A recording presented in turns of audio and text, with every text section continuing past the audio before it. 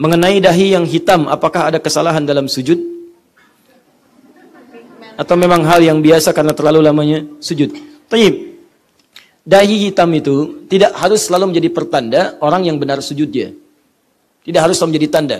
Karena yang dimaksudkan dengan tanda-tanda di sujud itu, ya nanti saya bahas di pertemuan berikutnya sebetulnya. Ya, ada ayatnya kan belum selesai. Simahum fi wujuhihim min athari sujud. Orang yang sujudnya benar itu, bagaimana cara mengeceknya?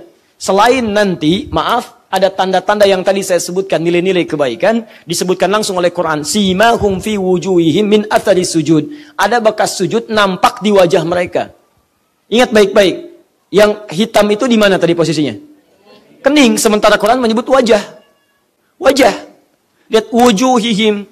Kalau disebutkan wajah itu menunjukkan bagian dua hal. Pertama adalah bagian bentuk tubuh dari ujung kepala sampai ujung kaki. Ini wajah bagian depan. Bagian depan.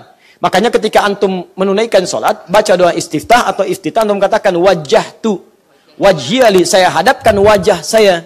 Kan yang menghadap sepenuhnya bagian depan. Ya, nggak ada orang yang mengatakan wajah pan cuman ini pak. Jadi begitu baca wajah tuh begini, wajah tuh tidak. Yang menghadap bagian depan semuanya. Ya, fawalli wajhaka syatral masjidil haram. Quran surah kedua 144. Maka anda sholat menghadap kiblat, hadapkan wajahmu. Maksudnya bagian tubuh kita bagian depan sepenuhnya menghadap ke kiblat. Itu wajah.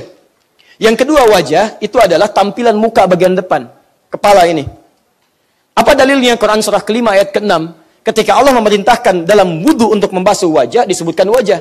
Ya ayyuhalladzina amanu, idza qumtum ila shalah faghsilu wujuhakum. Basuhlah wajah-wajah kalian. Wajah yang dimaksud yang ini bukan bagian tubuh dari atas sampai dengan bawah. Jelas ya? Nah, orang sujud itu akan nampak simah. Simah itu apa? Simah itu tanda istimewa. Istimewa. Jadi kalau kambing istimewa dikasih tanda. Unta istimewa kasih tanda. Tandanya disebut dengan sima. Ada keistimewaan di unta itu. Nah, keistimewaan yang nampak pada manusia itu berwujud pada akhlaknya. Kemuliaannya. Tanda kebaikannya. Ada dua tanda. Habdu minallah tanda ketaatan. Habdu minannas tanda, tanda muamalah. Jadi orang sujud itu kata Al-Quran akan nampak tanda pada wajahnya bagi dua. Tanda wajah yang pertama tanda ketaatan. Karena orang kalau banyak sujudnya, dilukiskan di Quran surah 3 ayat 113 tadi, banyak dia sujud artinya wajahnya semakin banyak bersujud di hadapan Allah Subhanahu wa taala. Turun lagi, turun lagi, turun lagi.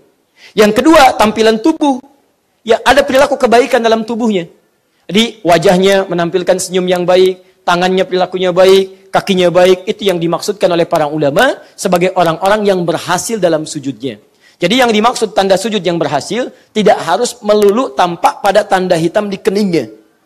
Jika tanda hitam ini diiringi dengan penampilan akhlak yang mulia, akhlak terhadap Allah dengan bertambah ibadahnya, akhlak dengan manusia bertambah kebaikannya, maka itu tandanya sujudnya berhasil.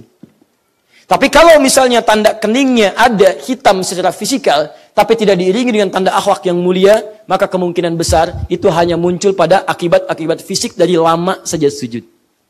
Ketika Anda terlampau lama seperti ini, jangankan orang sujud dalam sholat, orang biasa pun ketika begini, itu mungkin menampilkan tanda hitam di, di keningnya. Paham sampai sini? Tayyip.